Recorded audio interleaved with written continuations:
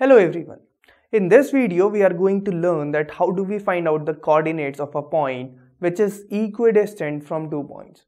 So here's a question on that which says that we have to find the coordinates of this point which is present on the x-axis and it is equidistant from A and B.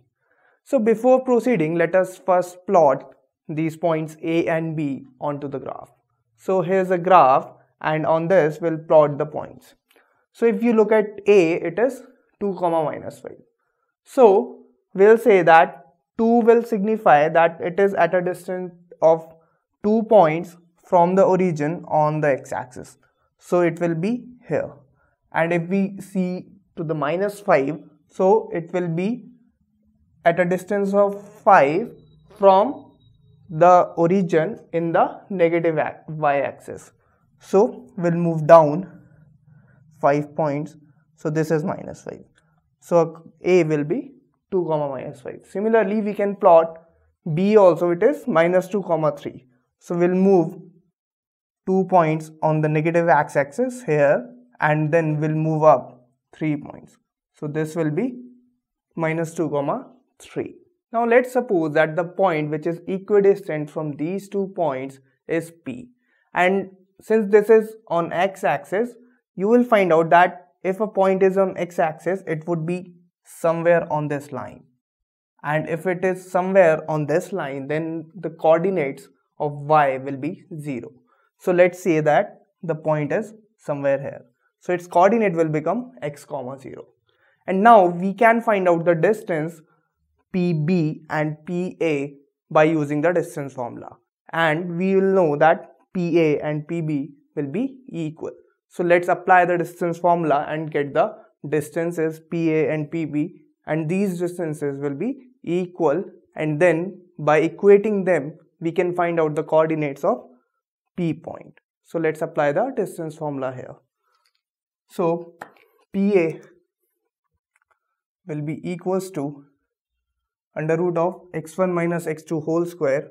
So x1 is 2 minus x whole square plus and y2 is minus 5 minus 0 whole square. So this will be PA. Similarly, we can find out PB.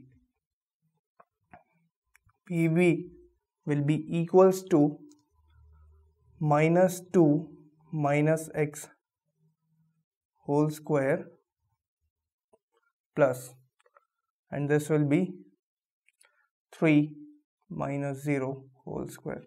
And now we know we are given that these two are equidistant. So we can equate PA and PB and these two quantities will be equal. So let's square and equate them. So we can write down that 2 minus x whole square plus if you look, focus, this is minus 5 whole square, this will come out to be 25 and equals to, this will be minus 2 minus x whole square plus and let's square this, this will come out to be 9. Now just apply a minus b whole square here and a plus b whole square here. So this will be 4 plus x square and minus 4x plus 25 equals to negative square will go and this will become 2 plus x whole square. So let's solve this. This will be 4 plus x square plus 4x plus 9. Now if we solve this, 4 will get cancelled, x square is also getting cancelled bring this 4x on the right hand side and 9 on the left hand side. So this will be minus 9 plus 25 is equals to 4x plus 4x just put this on the left hand side and take this on the right hand side. So this will be 8x equals to 16 or we can say x equals to 2 so we can say that the coordinates of P point will be equals to P will be equals to 2 comma 0. So this point P will not be here rather this will be here at this point 2 comma 0 so this is how we calculate the coordinates of a point which is equidistant from two points